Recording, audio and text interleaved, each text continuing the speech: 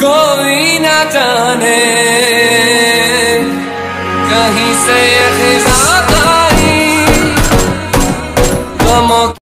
तो सबसे पहले लाइट मोशन खोल के हम लोग अपना एक प्रोजेक्ट क्रिएट कर लेंगे सिक्सटी एफ़ पे। उसके बाद हम अपनी जो वीडियो है उसको इंपोर्ट कर लेंगे। पहले हम अलाउ कर देंगे इसके एक्सेस को। और फिर जो भी आएगा उसको फालतू को ओके करके हम अपनी वीडियो को इंपोर्ट कर लेंगे। जैसे कि मैं दिखा रहा हूँ अभी यहाँ पे। अभी आपको अपनी बीट्स पे की फ्रेम्स लगाने हैं। देखो, जैसे मैं लगा रहा हूँ फास्ट फॉरवर्ड कर दिया मैंने की फ्रेम्स लगा लेते हैं जल्दी से। मैंने भी अपनी बीट पे की फ्रेम्स लगा लिया। अब अपनी टाइमलाइन को बड़ा करना है और सबसे पहले अपने वीडियो लेयर पे एक इफ़ेक्ट ऐड करना है। ऐड इफ़ेक्ट में जाके सर्च में जाना है हमें। और इधर सर्च करना है tiles T I L E S ये देखो टॉप पे आ गया। ये वाले इफ़ेक्ट को ऐड कर लेना है हमें स्टैंडर्ड सेटिंग्स रख के। उसके बाद इसका मिरर ऑन करना है हमें। नीचे आपको ऑप्शन दिख रहा होगा मिरर का, वो ऑन करना है। उसके बाद एक और इफ़ेक्ट ऐड करना है, जो कि अब ब्लर में जाके मोशन ब्लर जैसे, यहाँ पे दिख रहा होगा आपको। मोशन ब्लर वो ऐड करना है हमें। मैं दिखा देता हूँ आपको। ये देखो यहाँ पे मोशन ब्लर है। इसको स्टैंडर्ड सेटिंग्स में ऐड कर लेना है। और उसके बाद इसकी जो ट्यून को है हमें ज़ीरो पॉइंट ट्वेंटी परसेंट रख लेना है। और उसके बाद हमें जो है अपनी बीट्स पे आ, स्केल वाले पे आना है। और फिर उसके बाद थोड़ा सा पीछे आके की फ्रेम्स लगाना थोड़ा सा आगे आके की फ्रेम्स लगाना अब अगर आपको थोड़ा मतलब वैसे चाहिए कि आपका ये थोड़ा ज़्यादा देर तक छोटा होके बड़ा हुए तो आप की फ्रेम्स को थोड़ा नीचे ऊपर भी कर सकते हो। अब यहाँ पे आप देख सकते हो, जैसे यहाँ पे ये ब्लैक ब्लैक आ रहा है तो हमें टाइल्स में जाना है और इसके क्रॉप को बढ़ाना है। तो क्रॉप को देखो बढ़ा के देखोगे तो ये ब्लैक ब्लैक हट जाएगा पूरा। ऐसे करना है और उसके बाद अभी यहाँ पे स्केल को इधर, ये देखो, ऐसा इफ़ेक्ट आ जाएगा। ऐसे करके हमें पूरे में इफ़ेक्ट लगाने वाला और इसको मैं फास्ट फॉरवर्ड में कर देता हूँ।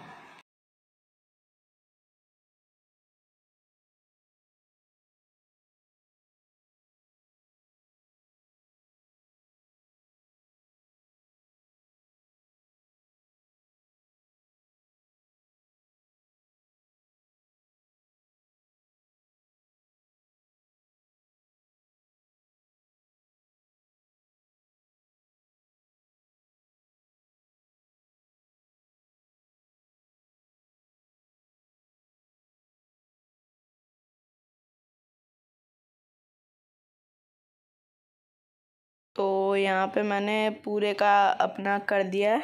और ये देख सकते हो आप। अब आपने देखा होगा जैसे साइड में ग्लो इफ़ेक्ट आता है सिद्धा गेमिंग के ए आर सिंह में। तो वैसे आप कैसे कर सकते हो? तो आपको डिस्क्रिप्शन में एक लिंक मिलेगा। उस लिंक से आपको ये वाली ऐड करना है glow effect like Siddha gaming PNG उसके बाद आपको मूव एंड ट्रांसफॉर्म में जाना, स्केल में जाना और इन दोनों को अलग अलग कर देना। अब इन दोनों के स्केल को आपको इतना करना है कि कोने कोने में रहे चारों तरफ़ से। जैसे यहाँ पे देख सकते हो आप और अगर आप चाहो तो मेरी, मेरे पूरे सेटिंग्स को भी कॉपी कर सकते हो और यहाँ पे आप देख सकते हो पूरा ये हो गया है। अब यहाँ पे आप कह रहे हो कि ये तो अजीब सा आ रहा है, पर लेकिन पहले तो हम इसको स्प्लिट कर लेते हैं दोनों तरफ़ के की फ्रेम्स से। जैसे यहाँ पे पहला की फ्रेम है तो इधर से लेफ़्ट लेफ़्ट साइड का स्प्लिट कर देंगे और इधर दूसरा की फ्रेम है तो इधर से हम राइट साइड का स्प्लिट कर देंगे जल्दी से। अब यहाँ पे अब अब हमें जाना है इसके इफ़ डुप्लीकेट करके हम इसको पूरे में लगा देंगे।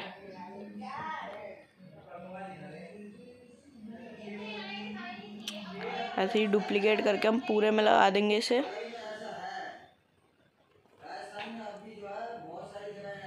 अब आप देख सकते हो कि इसमें मतलब पूरा गोला आ रहा है, वैसा नहीं आ रहा है जैसा सिद्धा गेमिंग के में आता है। तो आपको एक इफ़ेक्ट में जाना है ऐड इफ़ेक्ट करना है और इसमें आपको ब्लर में जाके गौशन ब्लर को ऐड करना है स्टैंडर्ड सेटिंग रख के।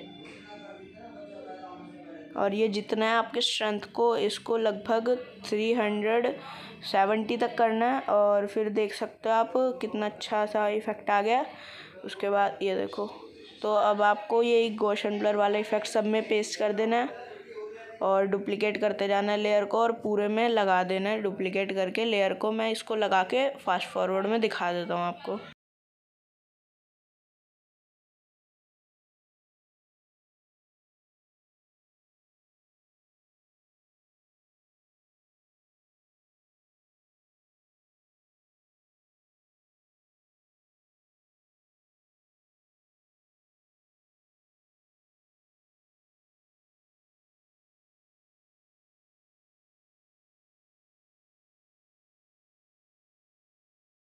तो देख सकते हो आप लोग कि यहाँ पे पूरा हो चुका है अगर आपको बैकग्राउंड नॉइस आ रही है तो सॉरी और अब आप यहाँ पे प्रीव्यू देख लो। तो देख सकते हो यहाँ पे पूरा सिद्धा गेमिंग वाला ए आर का हमें मिल गया। अब हम इसे एक्सपोर्ट कर लेंगे और इसको एक्सपोर्ट होने देता है जल्दी से।